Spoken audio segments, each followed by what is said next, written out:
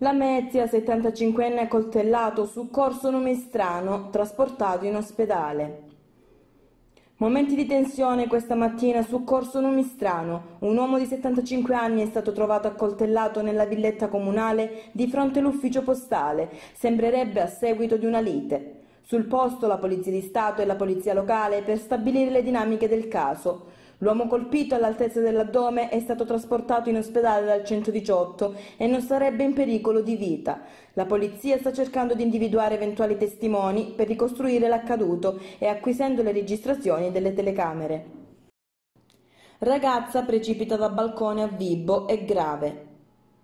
Una ragazza di 17 anni è precipitata da circa 6 metri di altezza da un immobile a Bivona, frazione costiera del comune di Vibo Valentia. A causa della gravità delle ferite si è reso necessario il trasferimento in elisoccorso all'ospedale pugliese di Catanzaro. La giovane, per cause ancora in corso di accertamento, è caduta dal balcone di casa ed è stata trasferita a Catanzaro per via di un trauma cranico. Sul posto, oltre ai sanitari del 118, anche i carabinieri a cui spetterà fare chiarezza sull'esatta dinamica dell'incidente. Colto da malore mentre pescava a Sellia Superiore, salvato dai vigili del fuoco. La sala operativa del 115 è stata allertata per un intervento di soccorso nel comune di Sellia Superiore. Una persona è stata colta da malore mentre era intenta a pescare nei pressi del fiume Simeri, nella vallata tra i comuni di Zagarise e Sellia. La squadra dei Vigili del Fuoco del comando di Catanzaro, distaccamento di Sellia, intervenuta prontamente, ha messo in atto le operazioni di recupero con l'ausilio di un elicottero e delle unità del nucleo speleologia alpino fluviale SAF della sede centrale. I soccorritori, in considerazione della zona impervia non raggiungibile con mezzi ordinari, hanno risalito a piedi per circa due chilometri l'alveo del fiume, raggiungendo il malcapitato e portandogli le prime cure, provvedendo successivamente al suo recupero e trasporto, con l'ausilio dell'elicottero dei Vigili del Fuoco, al Policlinico Universitario Germaneto di Catanzaro. Omicidio nel Crotonese. Il PM chiede 30 anni per l'autore. 30 anni di reclusione è quanto ha chiesto il PM Giampiero Golluccio per Vincenzo Malena, di 41 anni, di Ciron Marina, accusato dell'omicidio di Pasquale Carruccio, avvenuto il 10 dicembre del 2018. Carruccio, manovale di 44 anni, morì dopo essere stato colpito da una coltellata inflittegli da Vincenzo Malena per motivi passionali. Tutta la vicenda nasce dal fatto che, secondo Malena, Carruccio si era messo a corteggiare la sua ex fidanzata, una ragazza polacca che risiede a Ciron Marina e lavora nello stesso bar che era frequentato dalla vittima. Nel corso dell'udienza del processo con rito abbreviato, il PM Golluccio ha chiesto al GUP del Tribunale di Crotone, Romina Rizzo, il massimo della pena per Malena, che per la riduzione prevista dal rito è di 30 anni di reclusione. Oltre a Malena, il processo vede alla sbarra altri cinque imputati per favoreggiamento. Due di loro hanno patteggiato la pena di otto mesi. Cataldo Aloe, accusato di aver accompagnato Malena ed essersi sbarazzato dell'arma buttandola in un tombino, e Cataldino Arturo Ferrara, che ha aiutato Malena a disfarsi dei vestiti, bruciando quelli utilizzati durante il delitto e fornendogliene di nuovi. Ruba cellulare in un bar a Soverato, arrestato ventenne. I carabinieri della stazione di Soverato hanno arrestato in flagranza di reato un ventenne incensurato, residente in provincia di Reggio Calabria, ritenuto responsabile di furto con destrezza. In particolare, nella mattinata di sabato 27 giugno, a seguito di una richiesta pervenuta sull'utenza di pronto intervento 112, i militari si sono recati presso un bar di Soverato, dove era stato segnalato il furto di un telefono cellulare. Giunti tempestivamente sul posto, gli operanti hanno accertato che un giovane, dopo essersi introdotto all'interno di un esercizio pubblico di Soverato, approfittando di un attimo di distrazione di un cliente, si è impossessato del suo telefono cellulare, dileguandosi poi a piedi per le vie limitrofe. A questo punto hanno attivato subito le ricerche del soggetto, rintracciandolo mentre passeggiava in via Mirante. Nella circostanza hanno eseguito una perquisizione personale nei confronti dello stesso, rinvenendo lo smartphone di cui si era impossessato poco prima, che è stato successivamente restituito al legittimo proprietario. L'arrestato, espletate le formalità di rito, è stato ristretto presso le camere di sicurezza del comando di Soverato in attesa dell'udienza di convalida uscivano da un fondo in cui erano coltivate cento piante di cannabis indica, arrestati due vibonesi.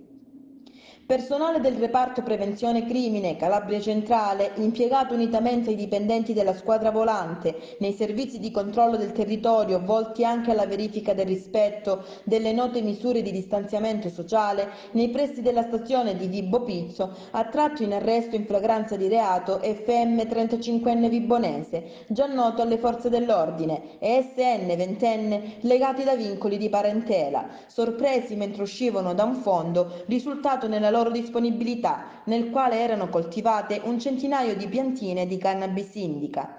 La successiva perquisizione effettuata nell'abitazione dei congiunti ha permesso di rinvenire anche una spada katana, illecitamente detenuta. L'arma e le piante di canapa sono state sequestrate, mentre gli arrestati, al termine degli atti di rito, sono stati posti agli arresti domiciliari.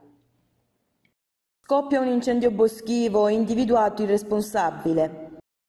I militari della stazione dei Carabinieri Forestali di Montalto Fugo hanno individuato il responsabile di un incendio boschivo avvenuto nei giorni scorsi nel comune di Rota Greca in località Ortale. L'incendio è divampato in seguito all'abbruciamento dei residui dell'attività agraria e di un cumulo di segatura derivante dal taglio di alcune piante in un uliveto di proprietà. All'arrivo dei militari sono apparsi evidenti nel corso del sopralluogo e degli imminenti accertamenti tecnici i segni di lavorazione agricola con abbruciamento dei residui vegetali, ancora in fumo da dove si è potuto individuare il punto di insorgenza dell'incendio attraverso il metodo delle evidenze fisiche, che permette di ricostruirne l'evoluzione dell'incendio. Per spegnere le fiamme che hanno interessato una superficie di 1500 m2, sul posto è intervenuta un'autobotte di Calabria Verde che ha scongiurato la propagazione ulteriore dell'incendio. Le indagini avviate subito dagli uomini dell'arma forestale hanno portato all'individuazione del responsabile, un sessantenne del luogo deferito alla Procura della Repubblica di Cosenza per incendio colposo, ai sensi dell'articolo 423 bis del Codice Penale. Rifiuti abbandonati, responsabili individuati grazie ai nomi su lettere e bollette buttate. Ennesimo intervento della Compagnia Carabinieri di Bianco a tutela dell'ambiente e del territorio. In un momento storico in cui il dibattito sulla gestione dei rifiuti continua ad essere attuale, l'Arma continua a fare la sua parte e sostegno dei cittadini. In particolare i Carabinieri di Caraffa del Bianco e i Carabinieri forestali di Brancaleone sono intervenuti a Casignana, non lontano dall'argine della Fiumara Bonamico, dove hanno individuato una zona di abbandono incontrollato di rifiuti. Una vera e propria discarica abusiva, grande circa 300 metri quadrati. Tanti rifiuti trovati all'interno, domestici di diverso tipo, plastica, vetro, indifferenziata, ma anche materiale edile ed elettrodomestici. Presente persino una vecchia automobile. I carabinieri forestali hanno così segnalato al comune di Casignana il sito per gli adempimenti di competenza finalizzati alla bonifica del terreno da parte del proprietario. La zona appartiene prevalentemente ad un privato, una porzione del terreno invece è demaniale. Ma i militari dell'arma non si sono fermati qui. Guanti alla mano hanno ispezionato i rifiuti mm, presenti all'interno di alcuni sacchi dell'immondizia. Sono stati trovati scontrini, bollette, lettere varie. I dati trovati hanno consentito di individuare quattro dei furbetti che hanno gettato impropriamente l'immondizia in zona. Per ciascuno di loro è fioccata una sanzione per un ammontare complessivo di 2.400 euro. Continuano dunque i controlli dei carabinieri del Comando Provinciale di Reggio Calabria per contrastare i reati di natura ambientale e dare così una risposta concreta alla difficile situazione vissuta dall'intera città metropolitana. Fondamentale in questo senso l'operato dei carabinieri forestali. Serve però anche l'aiuto del cittadino. Ogni tentativo di smaltimento di rifiuti illegale, viste le conseguenze sul potenziale inquinamento dell'aria, del suolo e delle falde acquifere, può essere segnalato al numero di emergenza 112. Daniela Maiolo per Teleionio. Sospesa attività, locale Movida a Corigliano Rossano, multato per 17.000 euro il titolare. Sospesa l'attività di un locale della Movida sul litorale di Schiavonea a Corigliano Rossano ed elevata una multa pari a 17.000 euro al titolare. È il risultato dell'attività di controllo della vita notturna sul litorale da parte dei carabinieri della compagnia di Corigliano. I militari, supportati dai colleghi del nucleo ispettorato del lavoro di Cosenza, hanno ispezionato alcuni locali notturni, riscontrando in uno di questi la presenza del 20% del personale dipendente senza un regolare contratto di lavoro lavoro. Inoltre all'interno delle attività commerciali non era attuato alcun protocollo previsto per contrastare la diffusione del Covid-19. Il titolare è stato anche sorpreso a somministrare alcolici ad un minorenne. L'attività commerciale è stata sospesa ed il titolare è stato sanzionato con una multa pari a 17.000 euro. Nel corso della stessa attività i carabinieri hanno denunciato due giovani per detenzione di marijuana ai fini dello spaccio. La sostanza già divisa in dosi stava per essere ceduta a giovanissimi. Indagine contro abusivismo demaniale a Vibbo, sequestrata parte lungomare di Ioppolo. Nell'ambito dell'attività di contrasto all'abusivismo demaniale ambientale condotta dalla Guardia Costiera di Vibo Valencia e coordinata dal Procuratore della Repubblica Camillo Falvo e dal sostituto Eugenia Belmonte, è stata eseguita una rilevante attività di indagine al fine di verificare le regolarità di alcuni lavori nella frazione Coccorino del comune di Ioppolo. L'attività condotta dalla Guardia Costiera ha portato ad individuare e porre sotto sequestro penale una porzione di lungomare dove era stato realizzato un pennello ortogonale alla costa in totale spregio delle pertinenti norme vigenti, in un'area tra l'altro sottoposta al vincolo paesaggistico ambientale, utilizzando dei massi da riporto provenienti da un escavo di terreno privato. Provvedimento quest'ultimo che non era stato convalidato dal GIP del Tribunale di Vibo Valencia. Gli esecutori materiali pertanto sono stati denunciati penalmente alla componente Procura della Repubblica di Vibo Valencia per i reati di depurtamento e danneggiamento di bellezze naturali e per violazione del decreto legislativo in materia di tutela dei beni paesaggistici. Furto di legname a Brognaturo, assolto un uomo non originario del luogo. Il giudice monocratico del Tribunale Penale di Vibo Valencia, Sapia, ha depositato le motivazioni con le quali ha assolto TRG, non originario del luogo, dal reato di furto di piante ed invasione arbitraria del fondo altrui consumato a Brognaturo. Il processo era scaturito a seguito di querela sporta dalla presunta persona offesa nei confronti dell'imputato, il quale nell'effettuare il taglio di alcune piante avrebbe invaso arbitrariamente il fondo e ne avrebbe asportato il prodotto. A seguito di ciò, i forestali, recandosi per effettuare un sopralluogo, hanno notato il taglio di alcune piante che venivano asportate dal castaneto e depositate presso un piazzale. All'esito dell'istruttoria dibattimentale, il pubblico ministero aveva chiesto la condanna a sei mesi di reclusione e 300 euro di multa. La difesa dell'imputato, rappresentata dagli avvocati Cosimo Tripodi e Vincenzo Galeota, entrambi del Foro di Catanzaro, hanno rappresentato al giudicante, attraverso il deposito di documentazione, che le fattispecie penali addebitate all'imputato non appaiono integrate sia sul versante oggettivo che soggettivo del reato. Il giudice, accogliendo interamente le tesi difensive ed evidenziando la mancanza degli elementi costitutivi del reato di furto e invasione arbitraria del fondo, ha assolto l'imputato dal reato a lui ascritto perché il fatto non sussiste. Daniela Maiolo per Teleionio.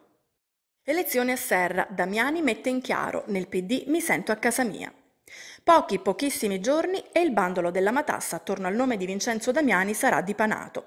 Da qui a metà della settimana prossima il quadro si delineerà in maniera chiara e definitiva, dando una forma precisa a tutte le voci circolanti in queste ore a proposito dell'eventualità di una candidatura a sindaco di Serra San Bruno da parte del medico 59enne. Quella in corso è la fase decisiva della discussione interna al Partito Democratico, propedeutica alle determinazioni finali. Del resto il tempo corre velocemente e le elezioni comunali del 20 e 21 settembre sono dietro l'angolo. Siamo nel PD da 16 anni, rivendica orgogliosamente Damiani, per cui all'interno mi, mi sento ovviamente a casa mia. Un ragionamento completato dalla consapevolezza che una componente del partito vede di buon occhio la sua discesa in campo quale leader della lista emergente dell'accordo ormai strutturato a livello comunale tra l'ala censoriana e quella salerniana e desiderosa di riconquistare il palazzo municipale dopo l'anticipata fine della consigliatura seguita all'elezione dell'ex sindaco Luigi Tassone a consigliere regionale. Un drappello, quello capitanato da Vincenzo Damiani, sul quale il professionista serrese fa leva per consolidare le aspettative maturate nel corso degli anni. Restano da vedere le valutazioni complessive dell'intero gruppo civico e le conseguenze di possibili ponderazioni in senso contrario. Elezioni di Serra. De Raffaele, in alto volare, fa riferimento al centrodestra. Il candidato a sindaco sarà condiviso. Il gruppo che ho l'onore di coordinare fa riferimento ai valori del centrodestra. La nostra storia politica parla per noi, siamo sempre stati di centrodestra. Io sono un tesserato di Forza Italia, finché c'è stato il direttivo locale ne ero componente. Poi, dopo le dimissioni presentate su nostra richiesta per motivi di opportunità da Francesco De Caria, il coordinamento comunale non è stato ricostituito. Ma io e tanti amici del mio gruppo siamo e rimaniamo di Forza Italia. Altri hanno sensibilità diverse, ma sempre chiaramente riconducibili ad altri altri partiti di centrodestra come Fratelli d'Italia. E quanto affermato il coordinatore del movimento civico in alto volare Giuseppe De Raffaele durante la trasmissione in streaming di Onde News condotta da Antonio Zaffino e Biagio Larizza. De Raffaele si è soffermato sul rinnovo dell'alleanza con il movimento La Serra Rinasce, precisando che il candidato a sindaco sarà una figura condivisa e che la nostra presenza nella lista civica sarà consistente. Lavoreremo su un programma che conterrà delle novità significative, aggiunto, confrontandoci con i nostri alleati per la definizione delle priorità. Va detto che con l'ingresso in giunta del nostro gruppo c'è stato un cambio di passo e molti progetti fermi sono ripartiti e sono stati portati a conclusione. De Raffaele su questo aspetto ha fatto specifico riferimento alla realizzazione della pinacoteca nei locali dell'ex carcere e all'avvio del processo di autonomia idrica grazie al finanziamento procurato con l'impegno di Nazareno Salerno che secondo me è stato il miglior sindaco di Serra San Bruno. Daniela Maiolo per Teleionio. Elezioni, l'invito di Klaus Davi, dei candidati a sindaco massoni, i regini farebbero volentieri a meno. Alcuni degli ipotetici candidati a guidare le liste di alcuni partiti sono notoriamente iscritti al GOI, al Grande Oriente d'Italia. Invito questi signori a fare coming out, non c'è assolutamente nulla di male nell'essere appartenenti alla massoneria, ma sarebbe opportuno lo dicessero ai cittadini di Reggio. Lo ha dichiarato Klaus Davi, consigliere comunale di San Luca. La mia opinione sulla massoneria l'ho già espressa, ha avvantaggiato Cosenza e Catanzaro, penalizzando Reggio lavorato contro questa città in stretta collaborazione con l'Andrangheta, come dimostrano le inchieste del pubblico ministero Giuseppe Lombardo, uno dei quotati a livello internazionale. Dei candidati a sindaco massoni i regini ne farebbero volentieri a meno, ma visto che ci sono, almeno lo dicano. L'assessore regionale Catalfamo indagata per concorso esterno in associazione mafiosa? Non ci sarebbe più solo l'accusa di corruzione. Secondo il Fatto Quotidiano, l'assessore regionale trasporti, Domenica Catalfamo, sarebbe indagata anche per concorso esterno con l'Andrangheta nell'ambito dell'inchiesta Helios, che ha messo nel mirino gli affari dell'AVR, la società che a Reggio Calabria si occupa della raccolta dei rifiuti, ma non solo. Al momento della notifica del provvedimento che ha reso pubblica la posizione di Catalfamo e di altri soggetti politici del comune di Reggio Calabria, l'accusa era solo quella di corruzione. Con riferimento alla l'avviso di conclusione indagini ricevuto questa mattina, riponendo assoluta fiducia nell'operato della magistratura, ritengo di poter affermare di avere sempre agito esclusivamente nell'interesse della pubblica amministrazione, con onestà e trasparenza, aveva dichiarato Domenica Catalfamo, assessore regionale ai trasporti, indagata per corruzione nell'ambito dell'inchiesta Helios della DDA di Reggio Calabria. La donna, ex dirigente della provincia di Reggio Calabria, è anche cugina del parlamentare di Forza Italia Francesco Cannizzaro, denaro. Ora, stando alle indiscrezioni giornalistiche, sarebbe indagata anche in concorso esterno in associazione mafiosa. Daniela Maiolo per Teleionio. Processo fondi ai gruppi consiliari, assolti Barilaro e Raffaele. Messa la parola fine alle strumentalizzazioni dei giustizialisti. Con la sentenza di assoluzione e scritto in una nota congiunta a firma Giuseppe Barilaro, sindaco di Acquaro, e Giuseppe Raffaele, già consigliere provinciale di Vibo Valencia, si chiude definitivamente una vicenda giudiziaria che si è trascinata per oltre cinque anni. Un arco di tempo nel quale abbiamo ritenuto opportuno mantenere il più assoluto silenzio nella ferma convinzione che, per come peraltro è giusto che sia in questi frangenti, occorre confidare nella giustizia e saper aspettare perché la verità è figlia del tempo. L'esito del procedimento giudiziario conferma, ove mai ce ne fosse bisogno, la correttezza del comportamento della conferenza dei capigruppo da me presieduta relativamente all'assegnazione dei fondi destinati ai gruppi consiliari, attuata secondo una prassi consolidata e sempre rispettosa della legge e dei regolamenti interni dell'ente. L'auspicio, confidano Barilaro e Raffaele, è che questa sentenza scriva definitivamente la parola fine su una vicenda fin troppo strumentalizzata dai soliti giustizialisti, che in modo alquanto sommario e superficiale non hanno esitato a promuovere l'agonia mediatica sulla base di presupposti rivelatesi alla prova dei fatti manifestatamente infondati, tanto da indurre la stessa pubblica accusa a chiedere per mezzo del pubblico ministero la piena assoluzione. Grazie agli avvocati Giuseppe Di Renzo e Antonio Barilaro per la qualifica e puntuale difesa, non basta avere ragione, bisogna avere qualcuno che te la dia. Daniela Maiolo per Teleionio. Misura di solidarietà Calabria, Gasperina c'è. Come rende noto l'amministrazione comunale del sindaco Gregorio Gallello, la Regione Calabria ha assegnato al comune di Gasperina, nell'ambito della misura di solidarietà Calabria, 11.727 1,90 euro. La somma è destinata a sostenere i cittadini in difficoltà economica ed impossibilitati a provvedere alla spesa alimentare per il proprio nucleo familiare nel periodo di emergenza dovuta al Covid-19. Per la presentazione delle domande c'è tempo fino alle 13.30 del prossimo 15 luglio. Di conseguenza, fanno sapere ancora gli amministratori locali, abbiamo pubblicato l'avviso per comporre un elenco comunale di esercizi commerciali, farmacie e parafarmacie disponibili a consentire l'acquisto di generi alimentari alimentari e di prima necessità, farmaci e parafarmaci, agli aventi diritto dei buoni spesa che il Comune di Gasperina provvederà a distribuire nell'ambito della misura di solidarietà. Le istanze possono essere presentate entro le ore 13.30 del prossimo 10 luglio. Ed ora ci fermiamo per una breve pausa. A tra poco. Chiaravalle Torre tentano di rubare in abitazioni. I carabinieri della locale stazione sono al lavoro per individuare i responsabili che ieri mattina si sono introdotti in due distinte abitazioni. Il luogotenente Giovanni Falsanisi con i suoi uomini è intervenuto in via Mario Ceravolo dove una signora ha denunciato un tentativo di furto da parte di due uomini. Sempre ieri mattina i due individui, stando ad alcune denunce, erano stati a Torre di Ruggero, dove erano riusciti ad entrare in una casa abbandonata dal centro storico. Nell'abitazione torrese non sono riusciti a rubare nulla, mentre in quella di Chiaravalle solamente le urla della proprietaria hanno indotto i due malviventi ad abbandonare l'idea di entrare in casa per arraffare qualcosa. I carabinieri per risalire all'autovettura e quindi ai due uomini hanno visualizzato le riprese di alcune telecamere posizionate lungo via Mario Ceravolo. Resta alta l'attenzione da parte dei carabinieri per risalire e quindi individuare i responsabili dell'azione delinquenziale. Soverato cerimonia di consegna delle bandiere blu agli stabilimenti balneari. Nella suggestiva cornice del giardino botanico che domina la città, il comune di Soverato, guidato dal sindaco Ernesto Alecci, ha consegnato alle attività balneari la bandiera blu 2020, un vessillo che sventola sulla perla dello Ionio per il quarto anno consecutivo, segno che la città è sempre più sostenibile, come ha confermato anche il presidente della FI Italia, la fondazione che gestisce il programma Bandiera Blu, Claudio Mazza, presente alla cerimonia.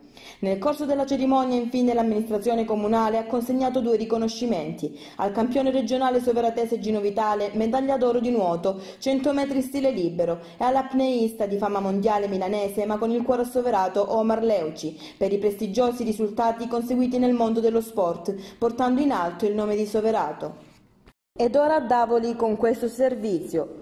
Con l'approssimarsi delle elezioni che si terranno a settembre, dopo la nota del circolo del PSI di Davoli che chiede quali siano le prospettive della cittadina ionica, arriva la risposta del sindaco Giuseppe Papaleo. Sì, eh, ormai è stabilita la data, quindi chi eh, parteciperà a questa tornata elettorale tra il 19 e il 20 di agosto dovrà presentare le liste. Ieri è uscito per la verità sì, questo manifesto del Partito eh, Socialista qui a Davoli, che io ritengo sia stato veramente ingeneroso nei confronti di un'amministrazione, anche eh, non fosse altro intanto perché per cinque anni non, non, non si è detto nulla.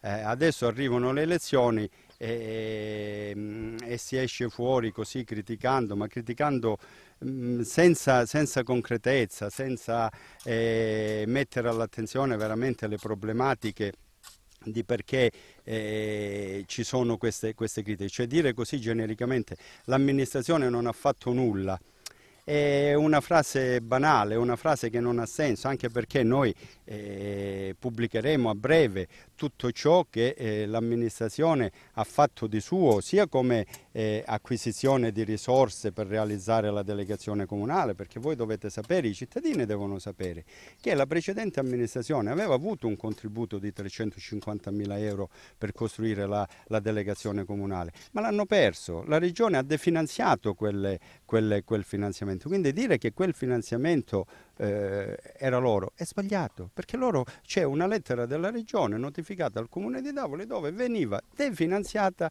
la costruzione della, della delegazione. Noi abbiamo, non si sa perché non l'hanno realizzata, noi abbiamo riacquisito un finanziamento ex novo e abbiamo realizzato la, la delegazione comunale, come abbiamo realizzato eh, l'intervento sulla, sulla, scuola media, eh, come abbiamo fatto tratti, finanziamenti per tratti di fogna, ma tutte queste cose abbiamo, eh, eh ieri, eh, avantieri è arrivata la, la, la, comunicazione della Regione Calabria che ci ha finanziato il progetto di 200 mila euro per l'area picnic in montagna, eh, ci hanno finanziato il progetto dei borghi a Davole Superiore per 850 mila euro, quindi dire così in modo banale, semplicistico, da politica spicciola, non si è fatto nulla, è un mortificare quello che deve essere il dibattito politico amministrativo che io ritengo ci debba essere a Davoli per la storia che ha Davoli sia politica che amministrativa. Ridurlo a un dibattito da marciapiede secondo me svilisce non tanto chi lo subisce ma chi lo fa questo tipo, questo tipo di critica. Quindi noi siamo pronti per la competizione elettorale. Sindaco, la sua giunta si è distinta per una eh, importante presenza in tutte quelle che sono state le manifestazioni eh, organizzate dalle, dai privati o dalle associazioni del territorio. Continuerete in caso di rielezione eh, con la vostra presenza e il vostro supporto ai cittadini e alle associazioni? Senz'altro, noi questo è un intento che eh, logicamente svilupperemo anche nel programma, ma questo noi lo faremo in modo, in modo aperto come l'abbiamo fatto in questi cinque anni, soprattutto lavorare eh, con le associazioni, coinvolgere le associazioni, ma soprattutto incentivare l'iniziativa privata, laddove ci sono tutti questi vincoli burocratici eh, che eh, frenano un attimino quella che è l'iniziativa privata, noi dobbiamo saper superarle per dare l'incentivo a, a poter eh, ecco, aprire e sviluppare idee nel privato. Poi vi faccio un esempio banale, siamo qui vicino il motor oil, il motor oil con la questione Covid quindi gli spazi, i distanziamenti e tutto, ha fatto una richiesta per poter creare un'apertura come un bancone sulla parte che dà a ridosso del lungomare. Noi potevamo come amministrazione decidere di darla o di non darla perché nessuno ci vietava di dire no, sul lungomare noi questo tipo di... però non, non avrebbe avuto senso perché noi dobbiamo andare incontro a chi il Motoroil in questo caso, ma per tutte le attività che saranno aperte qui sul litorale, sul litorale di Davoli, di dare la possibilità di lavorare al meglio. Quindi ben venga l'apertura a mare di una finestra, di uno spazio dove tu passa, il ragazzino vuole prendere il gelato senza farlo entrare dentro, quindi creare assembramento, creare affollamento, glielo dai sulla passeggiata, mangia il gelato, poi logicamente butta la carta nel cestino della spazzatura, però non la deve buttare per terra. Quindi questo noi faremo nei prossimi, se saremo se avremo la fiducia delle, delle, dei cittadini di Davoli, perché sono loro poi certo. alla fine che decidono e non i gruppi politici, noi continueremo in questa nostra... Un'ultima domanda, squadra vincente non si cambia, vale anche nel vostro caso? Sì, diciamo che eh, io avrei riconfermato tutte e nove i consiglieri uscenti, però c'è qualcuno eh, che per motivi personali, motivi di lavoro, motivi di impegni lavorativi ha deciso di non ricandidarsi e quindi noi stiamo costruendo una lista eh, con il blocco di impegno comune, logicamente viene riconfermata tutta la giunta come candidati al Consiglio Comunale e poi tutti gli innesti che noi eh, stiamo facendo sono innesti giovani, ragazzi che devono crescere insieme a noi perché noi lasceremo fra cinque anni, se ci saremo, il timone a questi ragazzi che devono poi loro ecco, prendere in mano il tutto e gestire quello che è l'aspetto amministrativo del Paese. E ora ritorniamo a Chiaravalle con questo servizio. Presso la chiesa del santuario Madonna della Pietra in Contrada Foresta di Chiaravalle è stata celebrata la Santa Messa del parroco Don Roberto Celia a conclusione del mese di giugno dedicato al Sacro Cuore. Inoltre è stata realizzata una splendida infiorata. Abbiamo iniziato questa tradizione l'anno scorso, cioè tradizione se, come capito ormai da tanti anni qui a Chiaravalle festeggiare il mese di Gesù, la conclusione appunto con la processione del um, Corpus Domini, qui se ne, appunto, se ne fanno due.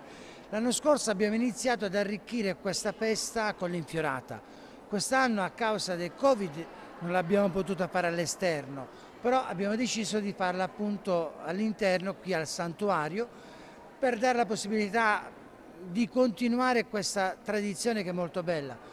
L'infiorata è il segno di una comunità che apprezza la bellezza, la bellezza del nuovo, la bellezza di essere comunità, ma soprattutto la bellezza di sentirsi amati da colui che veramente ha portato la primavera nuova nella nostra vita con la sua risurrezione.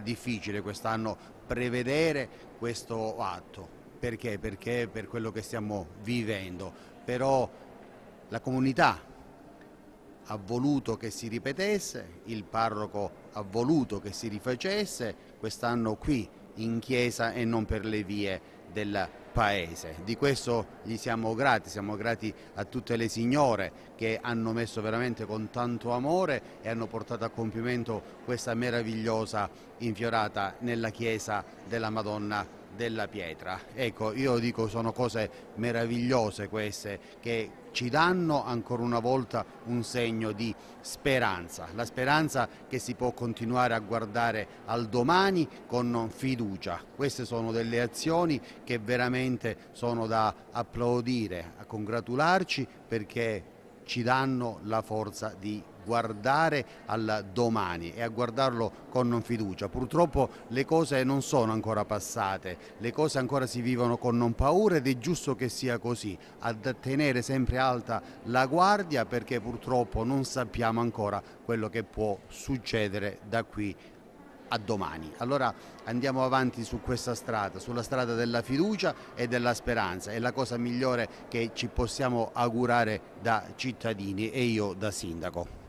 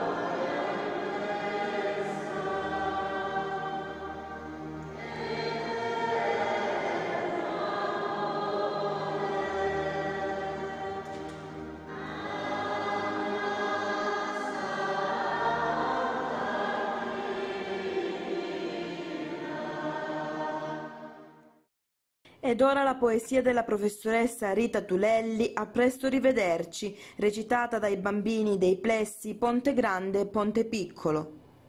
Sono pronta. Mi ricordo che una volta per la mano ci portava mamma a scuola oppure il nonno per la brava.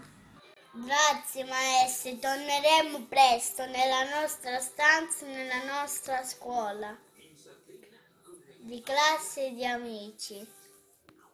A un metro e mezzo di distanza.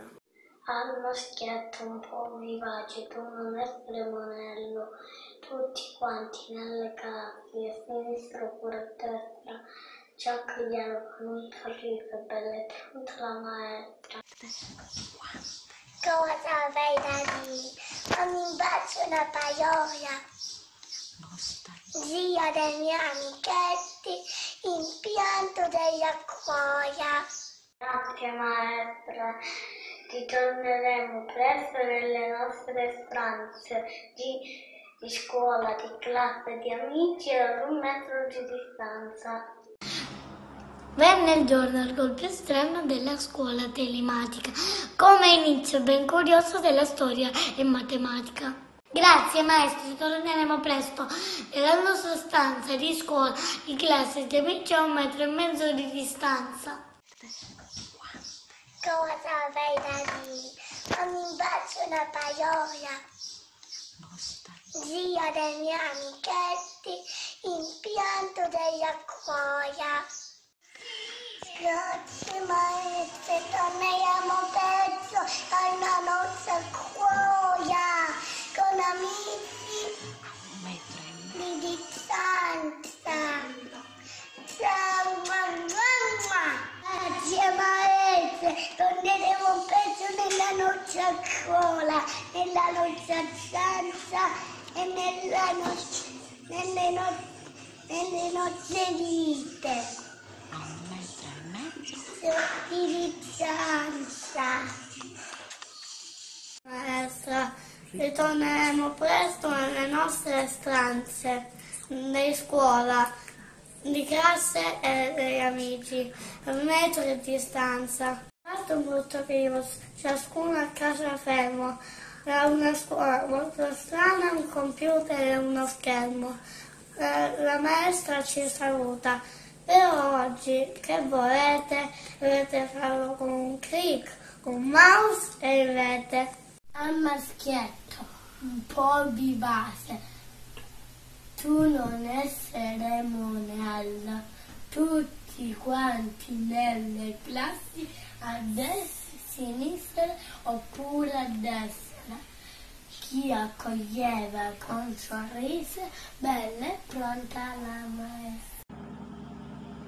Mi ricordo che una volta per la mano ci portava mamma a scuola oppure il nonno salutando fai la brava al bim- alla bimba tutta lieta alla soglia del cancello.